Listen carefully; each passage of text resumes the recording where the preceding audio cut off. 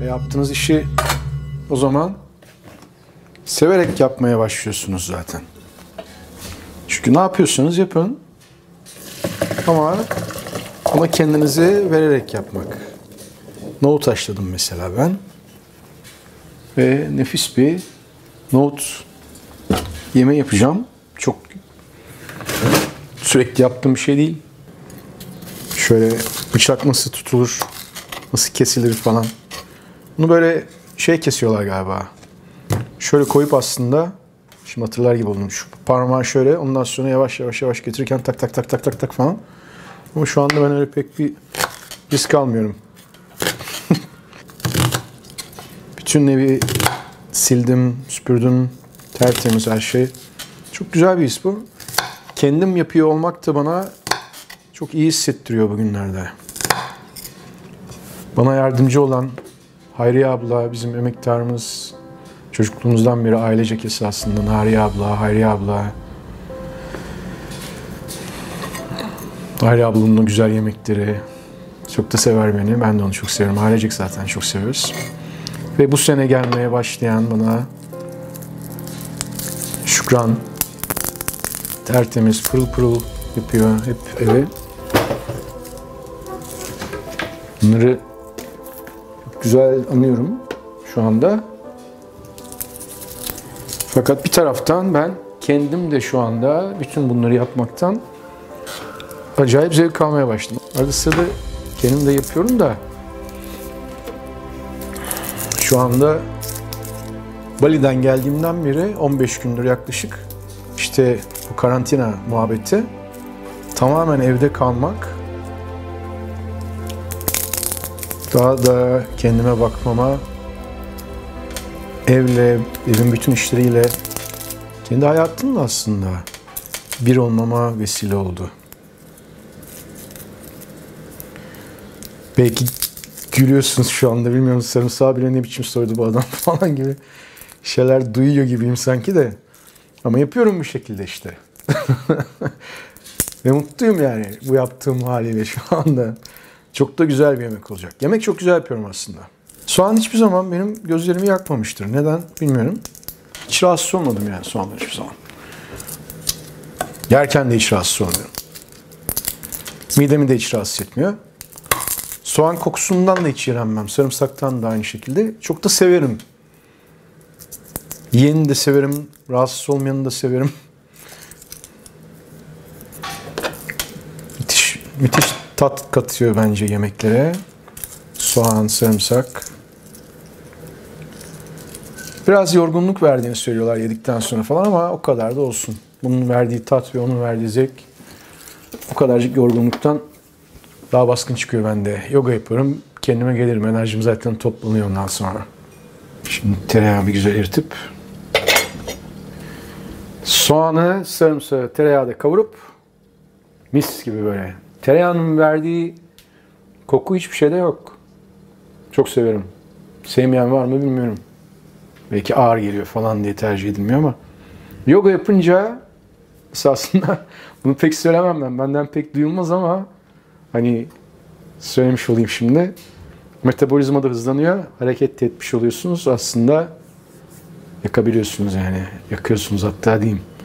Tabii bedenden bedene değişiyor. Yani benim tavsiye ettiğim böyle hep önerdiğim illa herkes zayıf olacak falan diye bir beden tipi yok. Herkes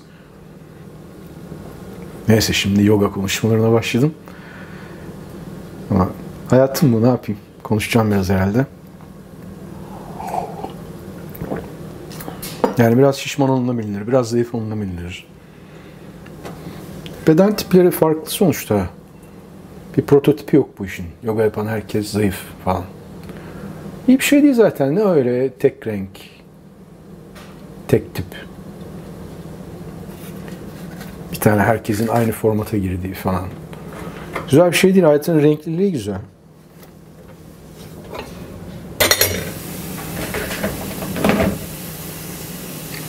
Allah diyorum.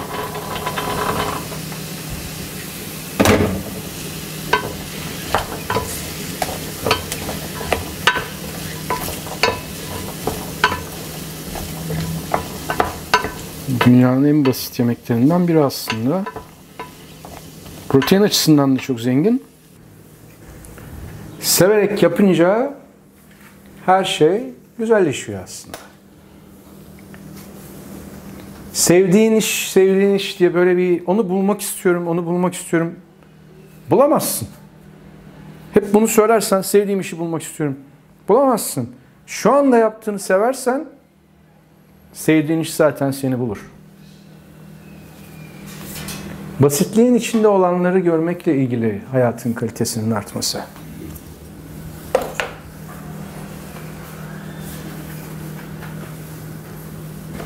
Böyle bir şey olacak. Çok fantastik olacak. Sen de onu yapacaksın. Oldu. Verecekler sana o işi yani sen onu yapacaksın. Ne güzel hayat ya. Öyle değil bu hayat sonuçta. Kendin buluyorsun. Kendi araştırmanın içinde yaratmaya başlıyorsun kendin. Bütün olanların içinde kendi şansını değerlendirmeye başlıyorsun. Görmeye başlıyorsun çünkü. Zerdeçal, kimyon, biraz biber, birazcık daha tereyağı.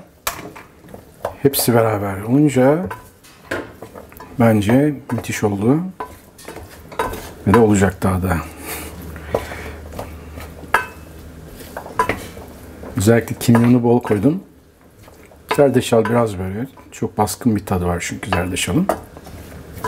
Doğru anlatılması gerekiyor.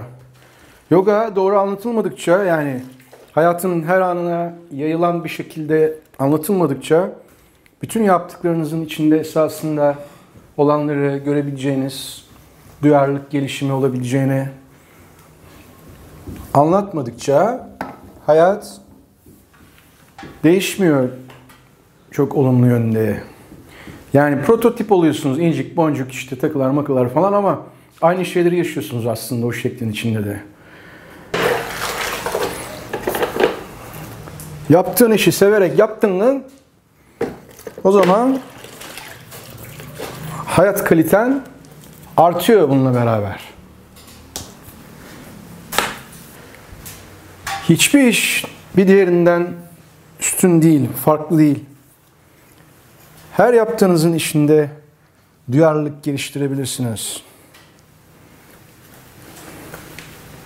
O zaman bütün işler iş olmaktan çıkıyor zaten.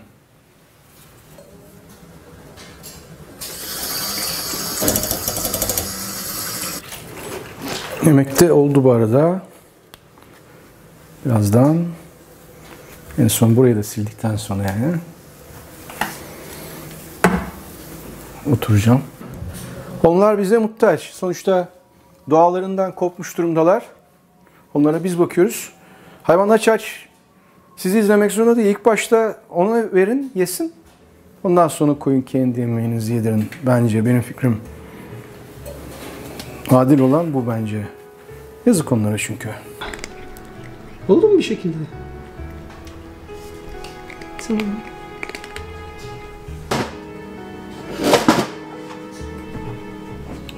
Evet. İşte bu an o an. Sabahtan beri beklediğim an bekle. Zerdeçallı, kimyonlu, biraz kırmızı biberli, soğanlı, sarımsaklı nohut. Bu kadar sade olsun istedim bugün. Hmm. Hmm.